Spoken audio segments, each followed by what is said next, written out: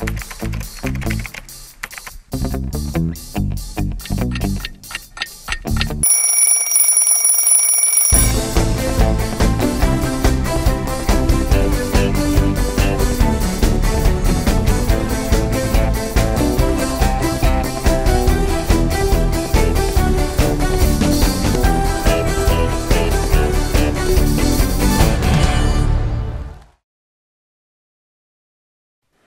Hallo und moin, meine Damen und Herren, herzlich willkommen mal wieder.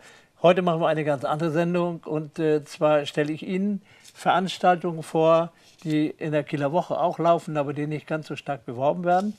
Und zwar heute eine Veranstaltung, dazu habe ich mir hier Herrn Siegfried Ettling eingeladen, der über die heutige Veranstaltung spricht und zwar über Schiffsmodelle und möglicherweise auch ein kleines Schaurennen.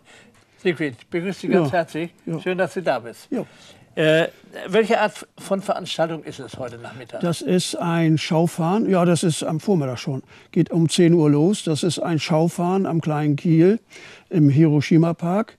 Und äh, das ist jetzt schon Bestandteil seit 1960, also nicht am Hiroshima Park, aber im kleinen Kiel. Äh, 1960 haben wir den Verein gegründet oder ist der Verein gegründet worden. Da war ich noch nicht dabei.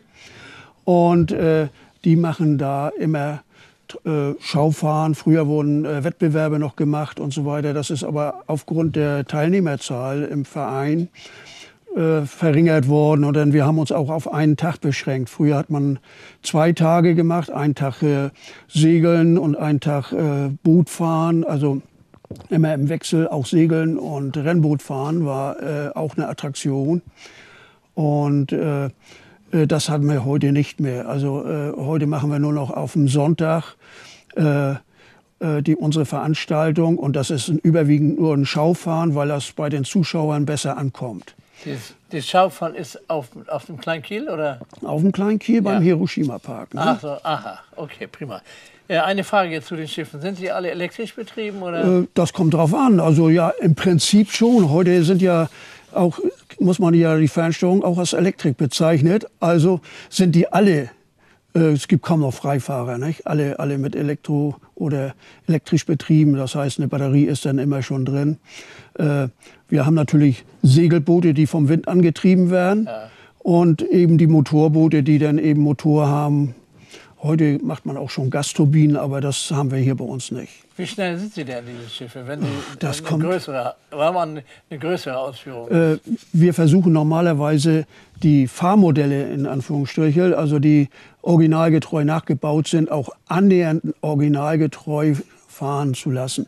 Aber wir haben zum Beispiel einen Rennbootfahrer, der hat laut Lok 190 Sachen auf dem kleinen Kiel gebracht. Nicht? Also, ja. Aber der kann dann gerade so das Gewässer ausnutzen oder kriegt er gerade so hin und dann muss er schon wieder abbremsen. Ne? Okay. Also ihr habt ja auch verschiedene Bootsklassen. Jetzt gehen wir mal zur Segelei. Kommen wir da jetzt mal. Wir haben hier, du hast ja ein Modell hier mitgebracht. Das können wir hier mal zeigen hier und das ist da ein sehr großes Modell. Äh, wie viele verschiedene Bootsklassen habt ihr? Ja, also das ist zum Beispiel ein Folgeboot. Das passt in die Minisail. Da gibt ja verschiedene Sparten bei uns. Äh, das heißt Minisail, Wettbewerbsfahrer, Regattafahrer und so weiter. Regattaboote, da kenne ich an sich vier Regattaklassen, die für mich aktuell sind. Äh, ich fahre mit dem Mini-Folgeboot auch äh, Regatten, aber nicht mit diesem. Da darf ich nicht mitfahren, weil das Aha. nicht den Vorschriften entspricht. Und äh, dann gibt es die Tenräder, das sind die Boote, die über 1,30 lang sind und äh, 0, oh, muss ich lügen, 0,8 Quadratmeter Segelfläche. Ich, kann, ich kenne mich da nicht so genau in der ja. Klasse aus, aber M-Boote, äh, das ist die nächstgrößere Klasse, die sind die Rümpfe zwischen 1,28 und 1,30 lang, haben Tiefgang maximal von 70 Zentimeter und haben 0,516 Quadratmeter Segelfläche. Aha. Vermessene. Das heißt, die ist tatsächlich aber ein bisschen größer durch Zugaben, die man da hat bei der Segelvermessung. Äh, und die Klasse ist an sich hier oben nicht mehr vertreten. Wir fahren die internationale 1-Meter-Klasse. IOM-Klasse nennt sich die, die ist 1 Meter Rumpflänge, aber da sind sehr viele Beschränkungen in der Richtung äh, Vermessung. Also das heißt, was für Material man verwenden darf, wie genau die, die Segel, da gibt es drei verschiedene Rickhöhen, das heißt äh, Segelgrößen. Äh, A nennt sich das das höchste, B das nächstkleinere und dann C das kleinste. Und wir können an sich bei na, bis sagen wir fünf Windstärken dicke Regatta ja. segeln. Also deswegen auch die verschiedenen Rickhöhen. Ne? Okay. Bei den M-Booten natürlich auch. Ne? Ja. Aber ihr macht auch jetzt für die Zuschauer natürlich sehr wichtig, ihr macht auch ein Showrennen. Wann wird das, in welcher Zeit wird das etwa sein? Nein, Showrennen machen wir gar nicht mehr. Nein, aber nein. ihr macht, aber ihr, stellt da ein paar Klassen vor. Ja, das, heutigen Tag. Also es wird äh, frei gefahren. Das heißt also ab 10 Uhr geht das da los und wird frei gefahren. Also dann kann jeder sein Modell reinsetzen. Ah, ja. Wir haben dann auch äh, meistens ein, zwei Modelle, wo Jugendliche, die interessiert sind, auch mal mitfahren dürfen und so weiter. Nicht? Also die kriegen dann die Fernschauung in die Hand gedrückt. Manche haben natürlich einen linken Daumen, sage ich mal. Da muss man ein bisschen nachhelfen, ja. aber das geht schon ganz gut. Gibt es eigentlich auch Meisterschaften? Ja, bei den äh, M-Booten und Tenrädern gibt es Meisterschaften. Also, und auch die RG 65-Klasse ist auch hier oben im Norden vertreten. Ich fahre nur noch regional. Ich war früher sogar in der M-Boot-Klasse und 1-Meter-Klasse unten am ja. Wolfgangsee. Ne? Aha. Gibt es auch internationale? Ja, ja, bis zur Weltmeisterschaft. Aha. Waren auch schon mal Kieler dabei? Äh, ja, wir haben äh, einen Kollegen gehabt, der ist leider verstorben. Der ist schon äh, weltweit, kann man sagen, USA, Südafrika und auch, wo, was soll ich alles noch aufzählen? Also Frankreich und Schweden, Norwegen, Toll. Kroatien, wo der überall rumgeschippert ist. Und auch mit besonderen Erfolgen? Oder? Äh, oder da also nicht mehr so sehr, weil er da schon in einem gesetzteren Alter war so, und ja. das mit dem Daumen und dem Kopf nicht mehr so ja. ganz hundertprozentig okay. klappt.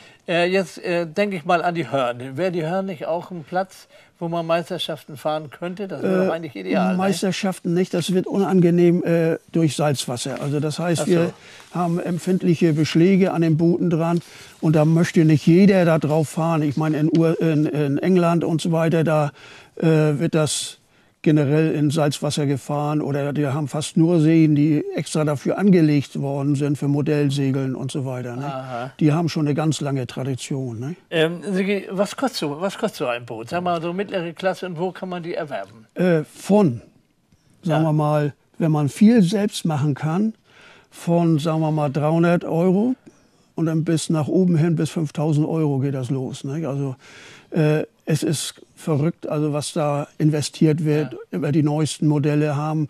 Das gibt weltweit ja natürlich so einige Hersteller oder sagen wir einige Regattasegler, die dann ihre Boote vermarkten, weil die natürlich mal Weltmeister geworden sind oder, oder äh, eben sehr gut segeln und dann wird das Boot eben gekauft nicht? und dann ist der Preis meistens nicht die Sache. Aber bei mir ist das so, dass ich überwiegend also ich sage mal zu 99 Prozent meine Boote selber baue und auch selber zum Teil zeichne. Also ich nehme manchmal Risse von anderen Konstrukteuren und verändere die ein bisschen nach meinem Geschmack, sage ich mal, nach meinen Vorstellungen. Ja. Ne? Äh, ich kann mir vorstellen, dass es auch Bausätze gibt. Ne? Es gibt auch Bausätze, aber meistens sind die Bausätze nicht so konkurrenzfähig. So. Außer es ist einer der mal wegen so ein Weltmeisterschaftsboot äh, gibt es eine, einen in Deutschland, der vermarktet das, also als Lizenz. Also das heißt, er baut das Boot in Lizenz und dann kann man dann eine Rumpfschale kaufen, Kielkauf, äh, Ballast kaufen und, und so weiter. Also es sind Möglichkeiten, aber heute nicht mehr so viel. Das ist, ich, ich bin seit 83 beim Modellsegeln und äh, da war das noch viel äh, verbreiteter, sage ich mal. Da waren die Gruppen größer. Also wir haben mit 50, 60 Teilnehmern bei einer Regatta gesegelt. Und heute ist das so, dass es sich so bei 20 ungefähr einpendelt. Ja, okay. Also, äh, und da gibt es heute nicht mehr so viele Vermarkter, sage ich mal, die äh, Beschläge verkaufen und, und so weiter. Da muss man schon manchmal nach England rüberschreiben, wenn man spezielle Beschläge haben will und ja. so weiter. Ne? Kommen wir nochmal zu dem heutigen Tag. Also wir haben ja nur viele Zuschauer, die das auch sehen. Mhm. Äh, sagen wir so ganz speziell, ihr fangt morgens um 10 an ja. im Hiroshima-Park. Ja. In der Mitte oder findet man euch gleich? Das sind ja mehr Veranstaltungen. Das ist ne? direkt vom Hiroshima Park ist ja die, ich sag mal, die östlichste Seite vom kleinen Kiel. Da ja. ist so ein Bogensteg jetzt aufgebaut, so ein ja. Schwemmsteg. Ja. Und daneben sind wir. Ach, da und also leicht zu finden. Ja, ganz leicht zu finden. Und wie lange geht die Veranstaltung? Äh, bis 16 Uhr, denn äh, wir haben manchmal gesagt 17 Uhr, aber das hängt auch vom Wetter ab. Ne? Ja. Wir haben schon oft gehabt, dass wir gegen 16 Uhr schon ordentlich Regenschauer hatten. Da hatten wir dann keine Lust mehr, da haben wir schnell abgebaut. Ne? Ja, hoffen, hoffentlich haben wir schönes Wetter heute. Ja, Und äh, wenn jetzt so interessierte Kinder, kann ich mir vorstellen, Mhm. gibt es da mal Möglichkeiten, dass du, wie du das gerade anklingen liest, dass die mal sagen, oh Mensch, ich möchte auch mal zumindest probieren. Ja. Haben die die Möglichkeit, das Ja, bei, machen? bei Elektrobooten sagen wir ja, aber bei den Segelbooten, da müssen die schon gewisse Kenntnisse, sage ich mal, haben. Ich meine, ich bin da auch nicht so zimperlich, aber ich habe das schon so oft gehabt, dass dann da irgendwas kaputt gegangen ist. Nicht? Also beim Segelboot, weil da doch mehr dran ist und, und man auch den Wind beachten muss. Nicht? Also das ist ja. Ja. nicht so, dass ein Motorboot, das fährt dahin, wo man meint, man steuert dahin. Nicht? Aber ein Segelboot, das braucht den Wind. Nicht? Den braucht den Wind, ja, okay, prima. Gut, du hast uns sehr viele schöne Sachen erzählt und äh, wie gesagt, meine Damen und Herren, wir laden Sie auch heute ein, zwischen 10 und 16 Uhr. Schauen Sie einfach mal rein am Hiroshima Park und äh, wenden Sie sich ruhig mal an Herrn Ettling und fragen Sie mal, wenn Sie ein Kind haben, auch ich möchte auch mal probieren oder vielleicht klappt das ja, wie er gerade anklingen ließ, dass er das ganz gerne macht. Da muss natürlich ein bisschen vorsichtig dabei sein. Also wir wünschen uns für den heutigen Tag schönes Wetter und Ihnen natürlich viel, viel Spaß. Wir würden uns freuen, wenn wir Sie begrüßen können. Sigi, ich danke dir ganz Ja. herzlich für dein Kommen. Ja. Alles, alles Gute und Ja. schauen wir einfach mal. ne? Ja, genau. So, meine Damen und Herren, das war der heutige Tag und morgen bin ich wieder für Sie da und da habe ich jemanden anders, den ich vorstelle und darauf freue ich mich und ich sage Dankeschön und noch einen schönen Tag. Danke.